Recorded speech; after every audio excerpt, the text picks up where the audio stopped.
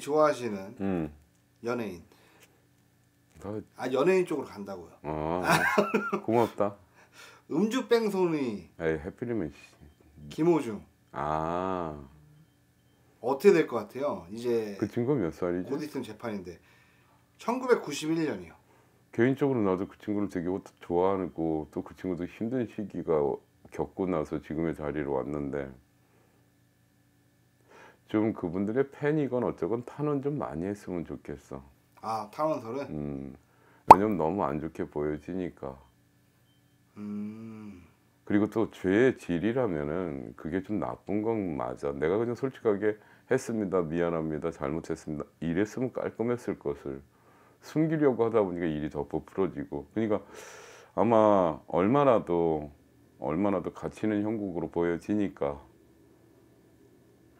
그냥 재판 받고 나오는 것이 벌금 내고 나오는 것이 아니라 아마 조금 가치 있는 형국으로 보여져.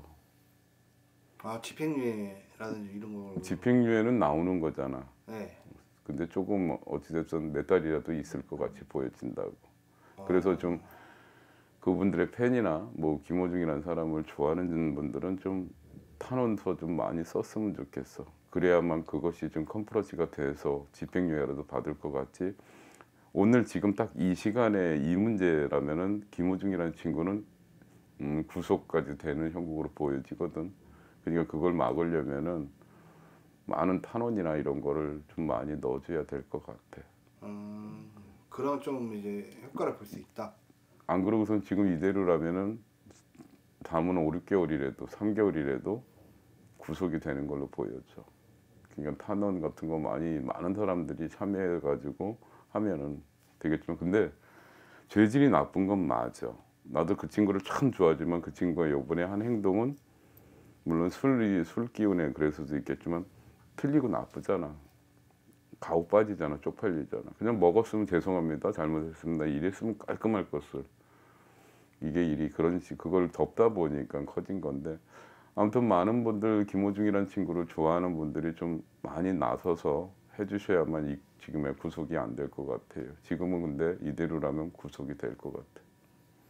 나중에 복귀는 가능할까요? 이게 사람이 이게 그거보다 더한 죄를 지은 사람들도 복귀를 하고 있는 게 연예계들이라 연예계더라고. 음, 크게 남한테 피해 안 주고 그렇게 술 먹고 그렇게 한 거니까 좋게 한 번쯤은 살아가면서 젊은 친구잖아. 이제 뭐 나이도 어린데 서른네 살인가 그러잖아.